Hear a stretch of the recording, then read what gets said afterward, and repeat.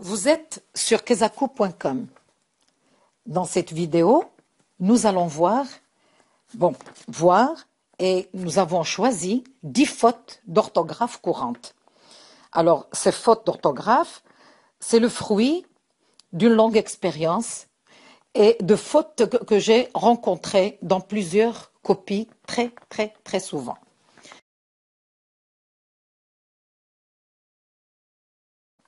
Première erreur.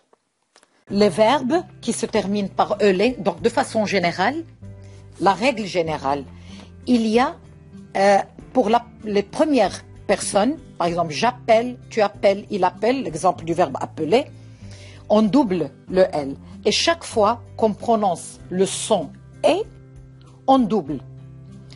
Quand on prononce le son E, on met un seul L. Nous appelons nous renouvelons, nous rappelons, nous nous rappelons, etc. Par contre, il y a des exceptions de verbes qu'il faut connaître, comme le verbe déceler. Alors, le verbe déceler, comme vous voyez sur la vidéo, je décèle. Alors, au lieu de, doubler, on va mettre accent grave.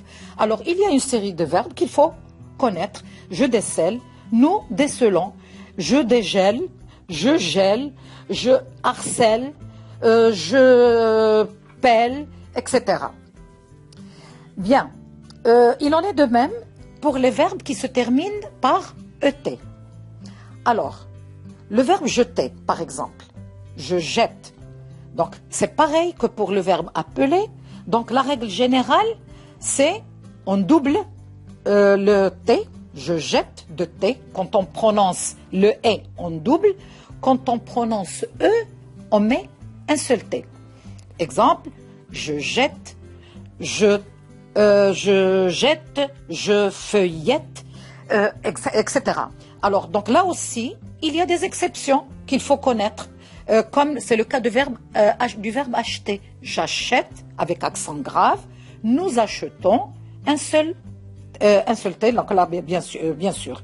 Alors, euh, le verbe allaiter, j'allaite, avec, c'est pas le verbe allaiter, il ne faut pas bien entendu le confondre avec le verbe allaiter.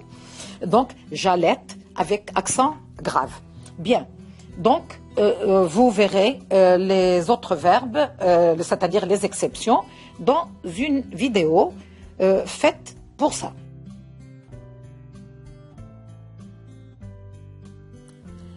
Deuxième erreur.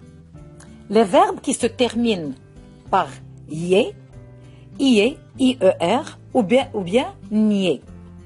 Alors, les verbes en yé, par exemple nettoyer, payer, euh, essuyer, etc. Alors, quel est le problème de ces verbes?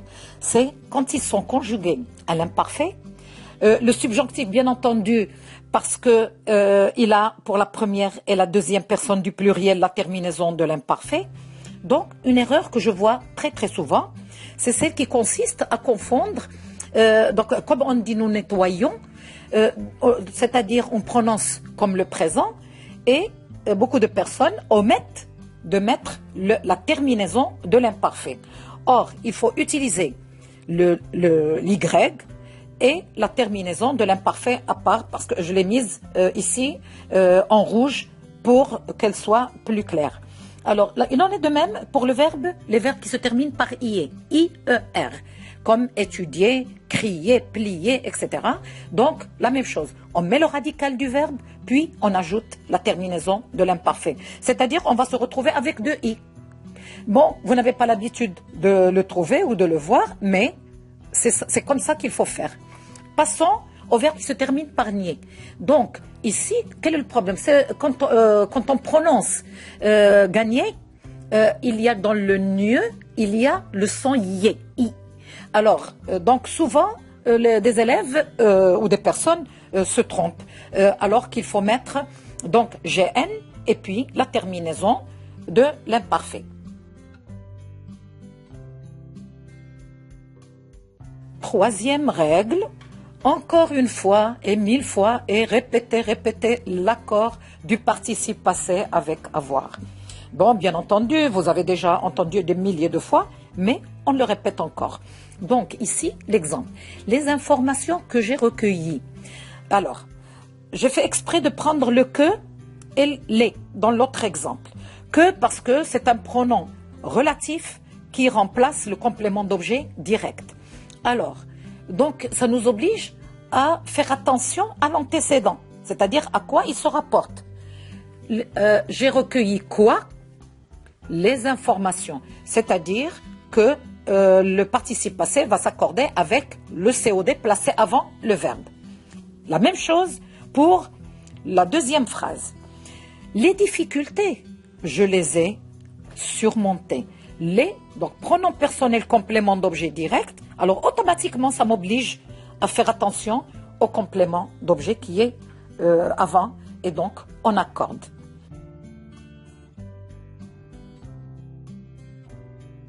Quatrième erreur, celle qui consiste à euh, confondre les homonymes. Alors, bien entendu, je vais rappeler quand même qu'est-ce que c'est que deux homonymes. Deux homonymes ou homophones, ce sont des mots qui se prononcent de la même manière, mais dont l'écriture est différente. Alors, je commence par différent, qui est un adjectif et qui se termine par T. Et différent, qui est un nom, avoir un différent avec quelqu'un. Donc, c'est-à-dire avoir un conflit, un problème qui oppose. Et donc, ça se termine avec des. Et ça, c'est une faute très, très récurrente. Même chez des personnes qui écrivent bien, donc ils mettent automatiquement le T. Passons au deuxième. Censé avec S et censé avec C. Censé, c'est-à-dire qu'il y a du bon sens avec S. Et censé, ça veut dire supposé. Vous êtes censé venir à l'heure, c'est-à-dire vous êtes supposé. Et euh, donc, euh, S, avec S, c'est avoir du bon sens. Bien. Donc, bonheur, un état, et se lever de bonheur. Donc là, je pense que c'est bon, c'est clair. Alors, coup. Coup, euh, il y a coup, la partie du corps, qui s'écrit avec C-O-U. Il y a coup, le coût qu'on peut donner à quelqu'un, et puis le coût, combien coûte donc un produit ou je ne sais pas. Bien. Euh, ensuite, regardez air. Air, on a l'air qu'on respire avec euh, sans E. On a l'air qui est la surface. On a l'air qui est une période.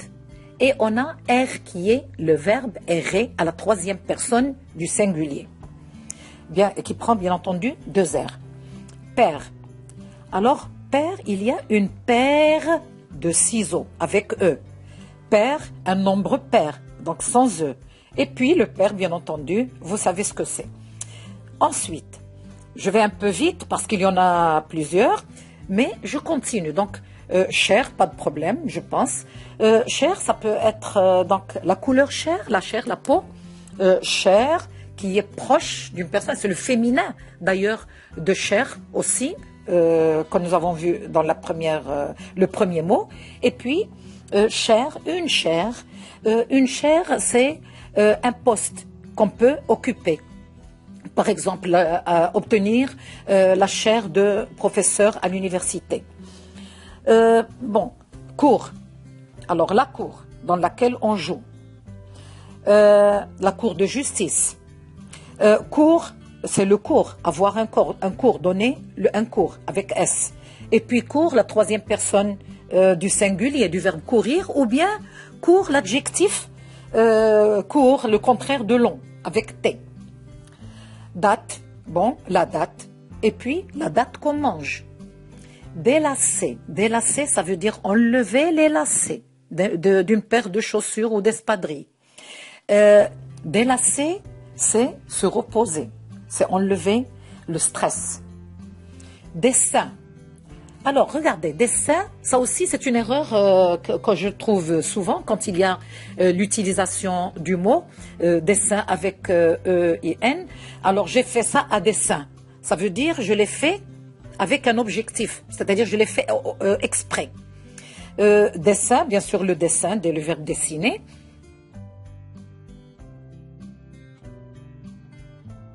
Alors, maintenant, des terminaisons inattendues. Alors, Premièrement, on a des noms masculins qui se terminent par E. Et oui, il y a des noms masculins qui se terminent par E. Exemple, avec EE, athée, caducée, camé, apogée, musée, mausolée, trophée, etc. Donc, ce sont tous des noms masculins, mais qui se terminent avec deux E. Il y a aussi des noms masculins qui se terminent avec IE. Euh, un amphibie, un génie, un incendie, un parapluie, un foie, un sosie, etc. Bien, des adjectifs au masculin qui se terminent par E. Alors, des adjectifs avec qui se terminent par il, par exemple habile, débile, tous, excepté civil, puéril, subtil, vil, volatile. Vous chercherez le sens dans le dictionnaire. Je ne veux pas expliquer pour ne pas alourdir la vidéo. Les noms féminins terminés par U, qui ne prennent pas E. Par exemple, la bru, la glu, la tribu, la vertu. Alors, c'est une liste donc exhaustive de, noms féminins qui, euh, qui se terminent par U et qui ne prennent pas E. Bien. Maintenant, des locutions figées. Alors, ces locutions, il faut les connaître parce que euh, après sans, ils ne prennent pas S. C'est-à-dire, ces mots qui sont précédés de sans ne prennent pas S dans ces expressions figées. Sans arrêt, sans crainte, sans exception, sans suite, sans cesse, sans délai, sans fin, sans conteste, sans encombre, sans pareil. C'est une liste de dix mots qu'il faut connaître. Des terminaisons en OU. Donc, bien entendu, la terminaison des, noms terminés par OU, euh, donc ils prennent S. Excepté sept noms qui font leur pluriel en X. Bijou, genou, chou, joujou, hibou, pou, caillou. les terminaisons en aïe. Alors pareil, les noms terminés par aïe prennent S, excepté 7, qui font leur pluriel avec AUX. Exemple, un bail des beaux, un corail des coraux, soupirail, travail, ventail, vitrail, etc. Donc tous, ils font leur pluriel. Ces sept font leur pluriel avec AUX. les noms terminés par heure. Alors, ils ne prennent jamais E à l'exception de quatre. Heure, beurre, demeure, l'heure. Et l'heure, j'explique quand même. Euh, donc, euh, l'heure c'est masculin, c'est un nom masculin. On dit un l'heure et un beurre. Donc ça, ce sont des noms masculins. Euh, donc, l'heure, se leurrer, c'est se tromper. Ça vient du verbe se leurrer. heure et demeure, donc ils sont féminins. Alors, attention aux homonymes de foi. Alors, bien entendu, on a déjà vu les homonymes, mais j'ai fait exprès de laisser euh, en dernier le mot foi à part. Pourquoi? Parce que aussi, il présente euh, donc euh, c'est une erreur qui est récurrente. Alors, on a la foi avec OI, le foi avec OIE. Alors, la foi, c'est-à-dire euh, la croyance, ce à quoi on peut croire. Et le foi, donc masculin, et puis le nombre de fois, ça c'est euh, la fréquence. Euh, les, exemples j'ai donnés ici, bon, j'ai foi en Dieu, c'est-à-dire je crois en Dieu. Je te répète plusieurs fois que je ne mange pas le foie. Eh bien, j'espère que cette vidéo vous aura, vous aura permis de répondre à quelques questions. Et je vous laisse euh, à une autre vidéo sur kazaku.com.